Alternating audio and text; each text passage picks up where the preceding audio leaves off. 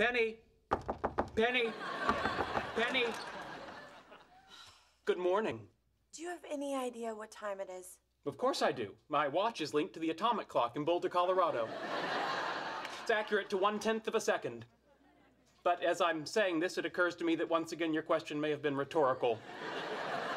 What do you want? Remember how Leonard told you we couldn't come to your performance because we were attending a symposium on molecular positronium? I remember symposium.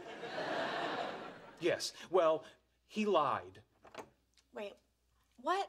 He lied, and I'm feeling very uncomfortable about it. Well, imagine how I'm feeling. Hungry? Tired? I'm sorry, this really isn't my strong suit. You told her I lied? Why would you tell her I lied? To help you. I'm sorry, I'm not seeing the help. She was going to see through your lie eventually, so I told her that you were lying to protect me. Oh, oh I'm getting a bad feeling. Hunger? Indigestion? I'm sorry, I'm really not very good at this. Anyway, Penny now believes that on Friday night, we're going to participate in my cousin Leopold's drug intervention. Your cousin Leopold. Whom most people call Leo, but he also answers to Lee. Remember that, it's important. What's important? Details, Leonard. The success or failure of our deceitful enterprise turns on details. Do you have a cousin Leopold? No, I made him up. I think you'd call him Lee. I don't get it. I already told her a lie. Why replace it with a different lie? Well, first of all, your lie was laughably transparent, where mine is exquisitely convoluted.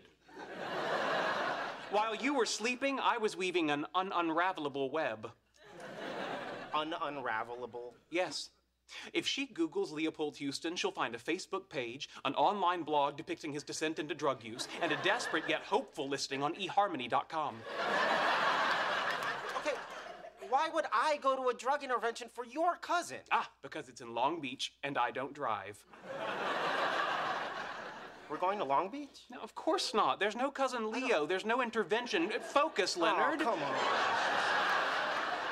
We just leave the house on Friday night and we return in the wee hours, emotionally wrung out from the work of convincing Leo to go back into rehab.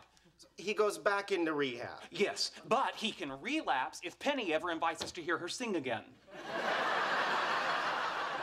You still told her I lied. Yeah, For a noble purpose, to spare me the social embarrassment of having a drug-addled first cousin, which I'm assuming is embarrassing, yes? How am I supposed to remember all of this? Well, that's the best part. You don't have to. See, I told Penny that you would be embarrassed if you knew that she found out that you had lied. So she's agreed to operate as if the original lie is still in force. So she's expecting me to lie about going to a symposium in Pasadena when in actuality we're pretending to go to a drug intervention in Long Beach. Un-unravelable.